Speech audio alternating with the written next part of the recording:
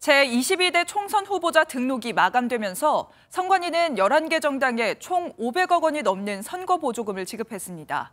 더불어민주당과 국민의힘이 절반 정도를 나눠 가졌고 거대 양당의 위성 정당도 수십억 원의 보조금을 받았는데요. 또 여기에 조국 혁신당은 얼마를 받았을까요? 이병주 기자가 자세히 알아봤습니다. 정당에 지급되는 선거 보조금은 올해 501억 9,700만 원으로 책정됐습니다. 지난 21대 총선의 선거권자 수와 계상 단가를 곱한 겁니다. 이 돈은 국회의원 수와 지난 선거 득표율 등에 따라 배분됩니다.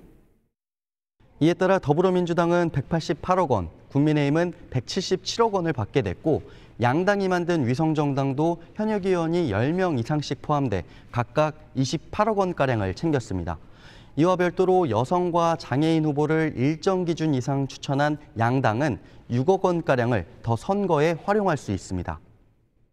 현역 의원이 5명 이상인 녹색정의단과 새로운 미래는 각각 30억과 26억을 수령하게 됐습니다. 이에 현역 의원이 1명 부족한 개혁신당은 9천만 원을 받았고 지난 선거에 출마했지만 현역이 없는 기후민생당은 10억 원가량을 보조받게 됐습니다. 조국 혁신당과 진보당, 자유통일당 모두 현역 의원이 한 명으로 같았지만 지난 선거에 불참한 조국 혁신당은 지원금이 2천만 원에 불과한 반면 진보당은 10억 원을 받았습니다. MBN 뉴스 이병주입니다.